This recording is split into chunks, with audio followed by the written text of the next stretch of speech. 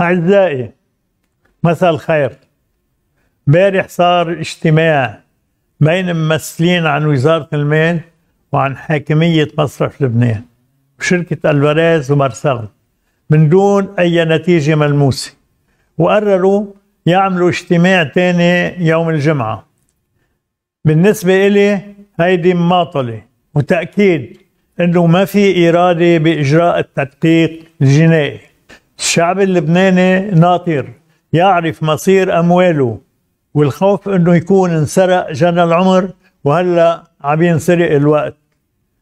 قبل رجعتي على لبنان سنة 2005 كنت شايف خطر الانهيار المالي ولما صرت رئيس تكتل النيابة طلبت بالتدقيق الجنائي بحسابات مصرف لبنان وإنشاء محكمة خاصة بالجرائم المالية. المطلبين ناموا بالجوارير. بعد انتخابي رئيس الجمهورية حاولت ثلاث سنين من دون نتيجة. افتح باب التدقيق الجنائي حتى أحمي ودائع الناس. الأزمة المالية والنقدية كانت عم بتزيد وبلشت مؤشرات الانهيار تموز 2019 وانكشف الوضع 17 تشرين الأول. 26 أدار من السنة الماضية كلفت حكومة الرئيس حسان دياب وزير المال بأخذ إجراءات لتنفيذ التدقيق الجنائي بحسابات مصرف لبنان. حتى نعرف ونكشف أسباب التدهور المالي والنقدي. كانت الشكوك عم تتأكد يوم بعد يوم إنه الحسابات مش واضحة ومش معروف حجم النقص بالاحتياط بالعملات الأجنبية والنقص كان يتغطى من أموال المودعين خلافا للقانون.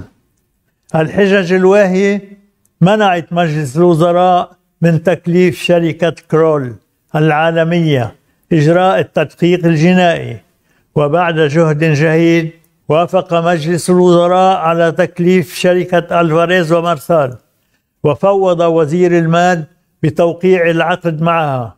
وهيك صار ب 1 أيلول 2020 يعني بعد أكثر من خمسة أشهر وجهت الفريز ومارشال بواسطة وزير المال 133 سؤال لمصرف لبنان جاوب عن 60 سؤال ورفض يجاوب عن البقية بحجة أنها مخالفة لقانون النقد والتسليف أو ما ما عنده جواب.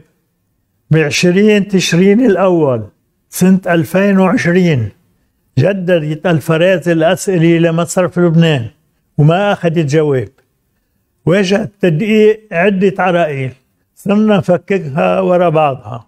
تحججوا أنه قانون السرية المصرفية بيمنع التدقيق. وجهت رسالة للمجلس النيابي وكان الجواب أنه حسابات مصرف لبنان خاضعة للتدقيق الجنائي. رحنا أبعد من خلال إقرار مجلس النواب قانون جديد. بيعلق العمل بقانون السرية المصرفية لمدة سنة.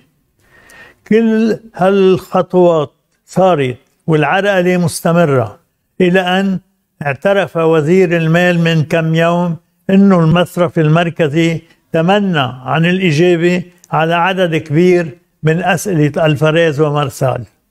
واضح أنه المماطلة هدفها تيئيس الشركة حتى تترك لبنان ويسقط التدقيق الجنائي ويفتلوا المجرمين من العقاب.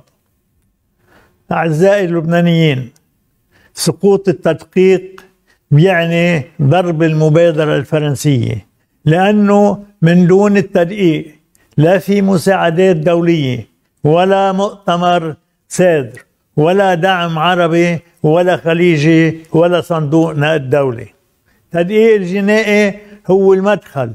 لمعرفة مين تسبب بوقوع جريمة الانهيار المالي. التدقيق مش مطلب شخصي لرئيس الجمهورية هو بصلب المبادرة الفرنسية وصندوق النقد الدولي. وقبل كل خارج هيدا مطلب اللبنانيين كلهم. للمودع اللي انسرقت ودايعه من المصرف وتبخر جنى عمره. للمريض الواقف على باب المستشفى وما معه مصاري. فيدخل لأنه أمواله بيقولوا محجوزة بالبنك. للطالب اللي سافر يتعلم وفجأة انقطع عنه التحويل من أموال أهله بلبنان. للأهل اللي ما عادوا قادرين يأمنوا مصروف العيلة بسبب الانهيار وتدهور قيمة الليرة.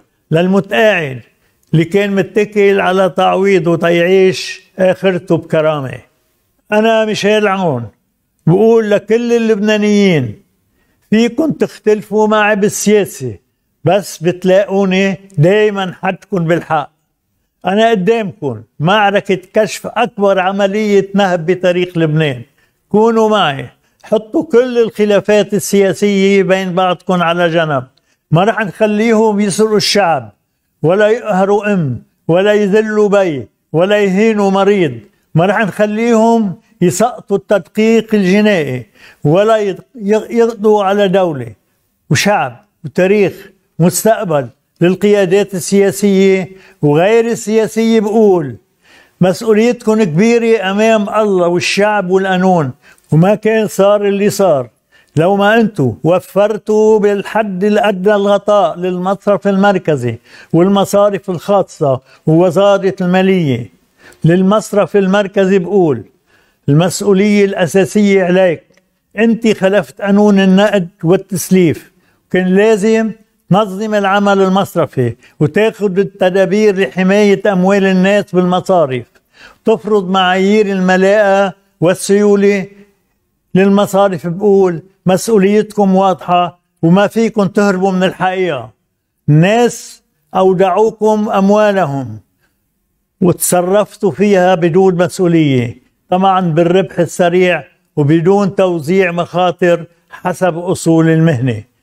الحكومات والإدارات والوزارات والمجالس والهيئات كلها مسؤولة عن كل قرش تم هدره عبر السنوات وكلها لازم يتدقق فيها جنائيا للدول اللي بتدعي التضامن مع الشعب اللبناني وبتطالب بالشفافية بمصرف لبنان والقطاع المصرفي وبالإصلاحات المالية والنقدية بقول.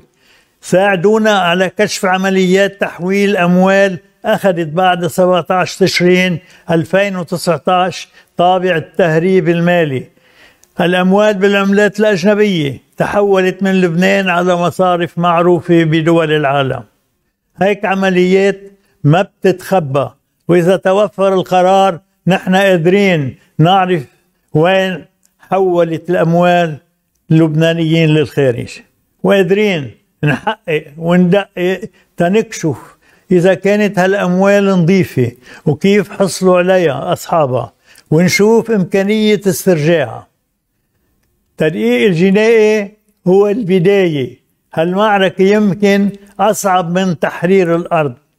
هي معركة ضد الفاسد والحرامة اللي هن أخطر من المحتل والعميل.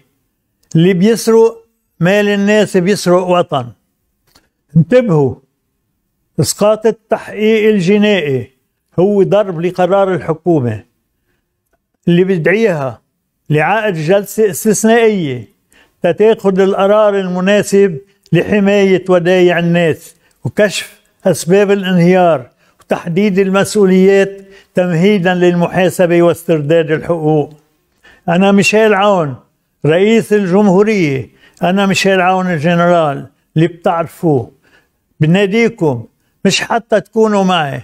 كونوا مع حالكم ومع مستقبل اولادكم خلونا سوا نكشف الحقائق لنسترجع الحق.